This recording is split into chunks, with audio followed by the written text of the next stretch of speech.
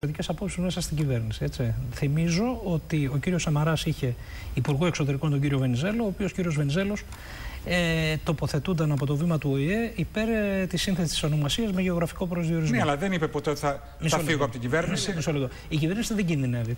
Και δεν κινδυνεύει διότι οι πρόνοιες του συντάγματος και του κανονισμού της Βουλής είναι πάρα, πάρα πολύ συγκεκριμένες. Η κυβέρνηση έχει σχηματιστεί και θα σας έλεγα και πολιτικά.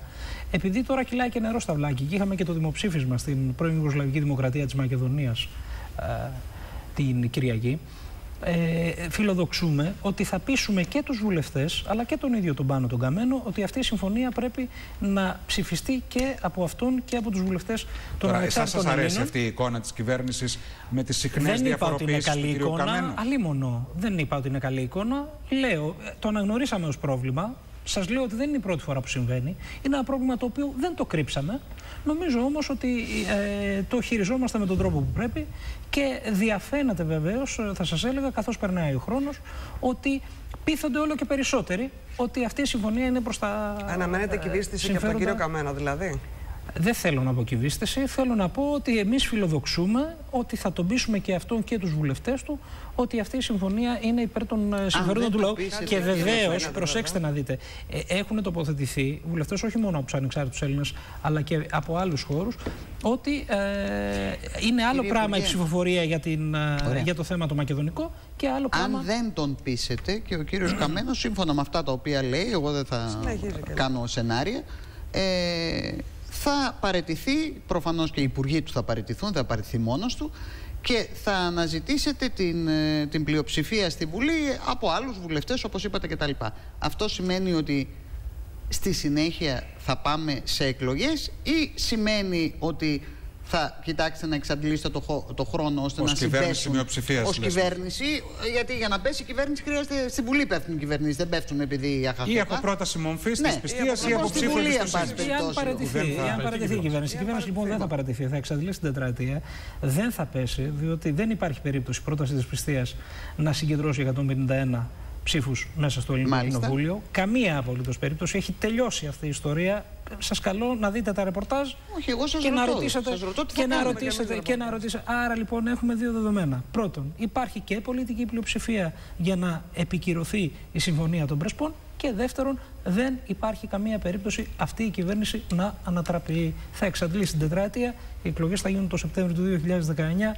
Α, όχι την άνοιξη. Και την άνοιξη έχουμε ευρωεκλογές την άνοιξη έχουμε ευρωεκλογές και αυτοδιοικητικές. Θεωρείτε ότι θα περάσει πολύ από τα Σκόπια και θα έρθει στην ελληνική Νομίζω ναι. Νομίζω ναι. Ε, διότι αν δει κανείς το αποτέλεσμα. Από το κοινοβούλιο ή μετά από εκλογές; Δεν μπορώ να το πω με βεβαιότητα αυτό, αλλά νομίζω ότι αυτή τη στιγμή η, είναι μεγάλη διαφορά, πάντως. η κυβέρνηση. Βεβαίως βεβαίως είναι μεγάλη διαφορά. Ε, αλλά νομίζω ότι τα βήματα έχουν προβλεφθεί με πάρα πολύ μεγάλη πρόνοια και λεπτομέρεια στη Συμφωνία των Προσπών. Αν τη διαβάσει κανείς, στη Συμφωνία των Πρεσπών δεν θεωρείται απαραίτητη η διεξαγωγή. Το είπε και ο Υπουργός Εξωτερικών χθε το βράδυ. Αλλά η Συμφωνία των Πρεσπών έχει καταληκτική ημερομηνία 31 Δεκεμβρίου του 2018. Εντάξει. Οι χρόνοι δεν βγαίνουν όμως, ναι, αν πάει σε εκλογέ ο κ. Αλλά αυτό δεν είναι το μείζον. Το μείζον είναι να γίνουν οι συνταγματικές αλλαγές και να δεσμευτούν και τα δύο μέρη σε αυτά που προβλέπει η συμφωνία. Εάν χρειάζεται να πάει λίγο πιο εκεί η εφαρμογή, δεν Νίκο, νομίζω πάντως, ότι είναι ο Ζόραν Ζάιφ είπε ότι μέχρι τέλος Νοεμβρίου μπορεί να πάει σε εκλογές. Δηλαδή να αξιοποιήσει το κατώτατο χρονικό μέρες. περιθώριο 45 Θέλω... μέρες που του δίνει το Σύνταγμα. Επιτρέψτε μου, κύριε Κοντρό. Άρα μέχρι τέλος του χρόνου μπορεί να, να, να πω το εξής, το οποίο έχει μεγάλη πολιτική σημασία. Ε, καθόμουν και κοίταγα τα αποτελέσματα των προηγούμενων εκλογών στην πρώην Ιουγκοσλαβική Δημοκρατία της Μακεδονίας και τις βουλευτικές τους και τις προεδρικές τους. Σε αυτές τις εκλογές ψηφίζουν γύρω στα, στο 1 εκατομμύριο 100 έως 1 εκατομμύριο 200 άτομα. Τόσο είναι. Το ναι στην παρούσα φάση, με γνωστό το μποϊκοτάζ από κάποια αλβανικά κόμματα αλλά και από την ε, μείζωνα αντιπολίτευση. Το βέμερο. Ε, πήρε το ναι λοιπόν πάνω από 600.000 ψήφους. Αυτό το, αυτός ο αριθμός είναι πολύ παραπάνω από όσο είχε πάρει το κόμμα του ΖΑΕΦ στις εκλογές οι οποίες ε, μετά από λίγο τον κατέστησαν ή ο ίδιος ο πρόεδρος, ο οποίος ναι, εξελέγει αν με λιγότερα, 500.000 και κάτι ψήφους. Ωστόσο δεν είναι νομιμοποιημένο αυτό το δημοψήφισμα. Δεν είναι, δεν είναι τύπης. Τη Ρωσία και αυτό δεν είναι. Δεν είναι δεν, εντάξει, η Ρωσία έχει τα δικά της συμφέροντα. Η Ελλάδα, η Ελλάδα έχει τα δικά της. Η Ρωσία έχει τα δικά της. Η Ελλάδα έχει τα δικά της. Η Τουρκία έχει τα δικά της. Η Ελλάδα έχει τα δικά της. Έκανα διάβημα, γι' αυτό σας το λέω. Ναι, για όσους, αυτό δεν για είναι δηλαδή. δεν το έχουν ακούσει. Τι είπε. Υπάρχει διάβημα και απειλή βέτο στο Συμβούλιο Ασφαλείας εκ μέρους της Ρωσίας, ώστε να μην προχωρήσει η ένταξη λοιπόν, της φυρών στο ΝΑΤΟ. Η Ρωσία αυτή τη στιγμή ε, μετακινείται από μια πολιτική που έλεγε ότι δεν ε, πρέπει να ανακατεύονται στα εσωτερικά των ε, άλλων χωρών τρίτες χώρες. Διότι αυτή ήταν η κατηγορία την οποία εκτόξευσε και προς τη χώρα μας, όταν καλώς, κατά τη γνώμη μου, επιλέξαμε να απελάσουμε δύο Ρώσους διπλωμάτες. Τώρα, δηλαδή... μια μιας, και το, μιας και το θίξατε, ναι. μήπως βγάλουμε και καμιά είδηση. Οι δικές μου πληροφορίες λένε ότι γίνονται ε, και στο, στο, στο διπλωματικό παρασκήνιο, ως ήθιστε, διεργασίες προκειμένου τελικά να υπάρξει επίσκεψη του Πρωθυπουργού στην Μόσχα μέχρι το τέλος του χρόνου. Ε, έχετε να μας πείτε κάτι τέτοιο; Όχι, δεν έχω κάτι καινούριο. Ε, εντάξει, όλα θα, θα, θα αφήσουμε τον Πανδαμάτορα χρόνο να τα λύσει νομίζω.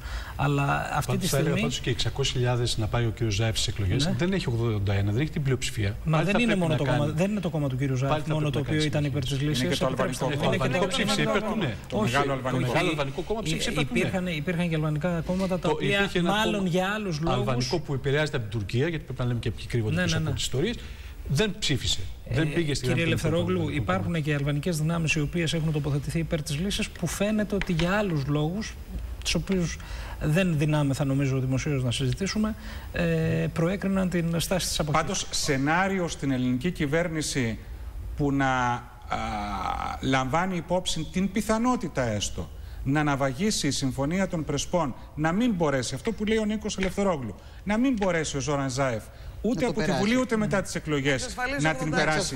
Υπάρχει αυτό το σενάριο. Όχι μόνο υπάρχει, έχει περιγραφεί με λεπτομέρεια στη συμφωνία. Τι εννοεί. Δεχτήκαμε να σας πω. Δεχτήκαμε σφοδρή κριτική. Δεχτήκαμε σφοδρή κριτική. Επειδή η αλληλουχία των πολιτικών γεγονότων τα οποία προβλέπει η συμφωνία καλούν την Ελλάδα τελευταία να επικυρώσει τα βήματα που έχει κάνει η γειτονική χώρα. Αν δεν ολοκληρωθούν, η Ελλάδα δεν έχει να επικυρώσει τίποτα. Σωστά, αλλά τα πολιτικά απόνερα του δημοψηφίσματος. Αυτού... Συγγνώμη, μισό λεπτό. Τα πολιτικά απόνερα αυτού του δημοψηφίσματος. Με αυτή την ναι. ισχνή συμμετοχή, ισχνή θα τη χαρακτηρίσω εγώ. Έτσι. Μην θυμίσω το 2015. Θα όχι, θα διαφωνήσω. Ποια ήταν η συμμετοχή στο δημοψήφισμα εδώ; Θα διαφωνήσω. Μα εκεί είναι προφανές ότι υπάρχει πρόβλημα με τους εκλογικούς καταλόγους. Δεν είναι ίδια τα πράγματα. Μην φανταστούμε ένα κράτος. Αυτό υποστηρίζει η κυβέρνηση. Δεν έχουν επικαιροποιηθεί από το 2001. Μην φανταστούμε και ένα κράτος το οποίο έχει όσο άρτια οργάνωση έχει το δικό μας. Ε, καλά, και εμείς μέχρι λίγα χρόνια είχαμε εκλογικού καταλόγου που είχαμε 13 εκατομμύρια Με αυτά τα δεδομένα, εσείς θεωρείτε ε, μετά από αυτό το χαστούκι, όπως χαρακτηρίζουν πολλοί, που έφαγε ο ΖΑΕΦ από το δημοψήφισμα.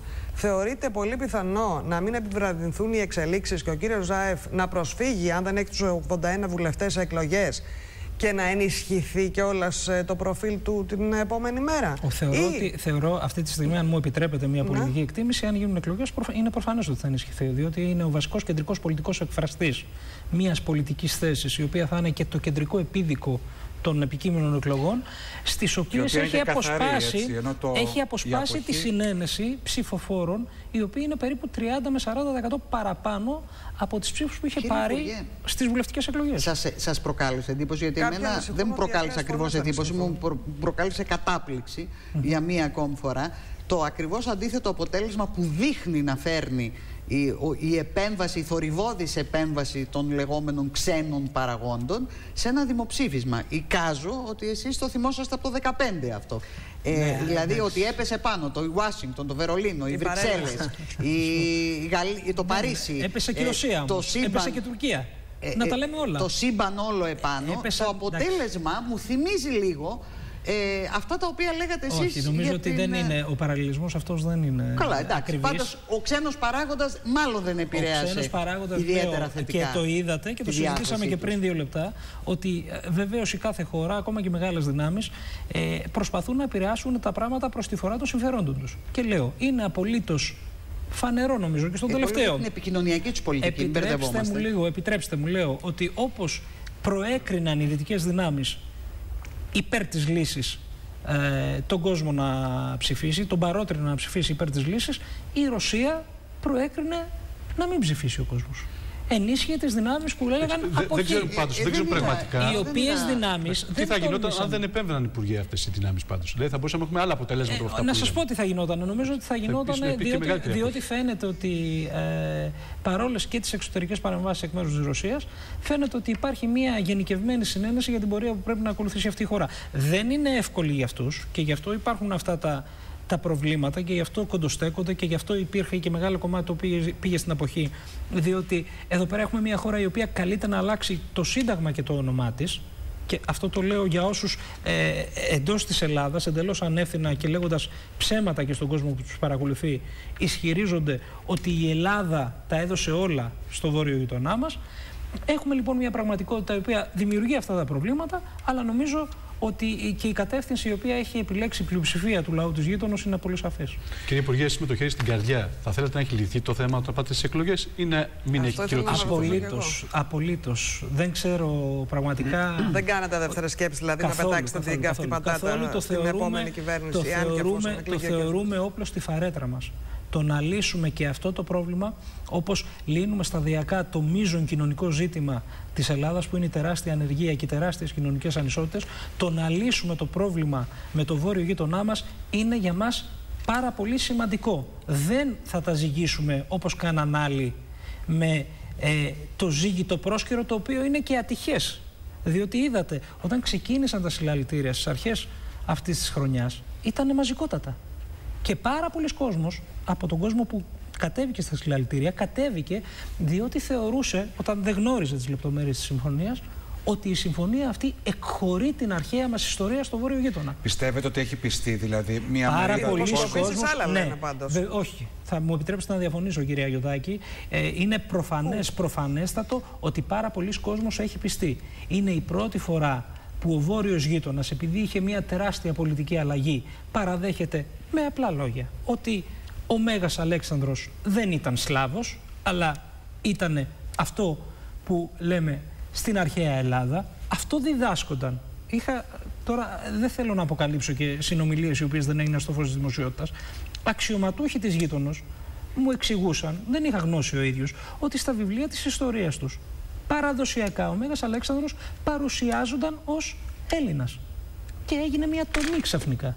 Όπου η, ηγεσία, ε, βέβαια, όπου η ηγεσία του Γκρουεύσκη ξόδευε το μισό προπολογισμό του ε, ε, κράτους των γειτόνων για να στείλει αγάλματα του Μεγάλου Αλεξάνδρου.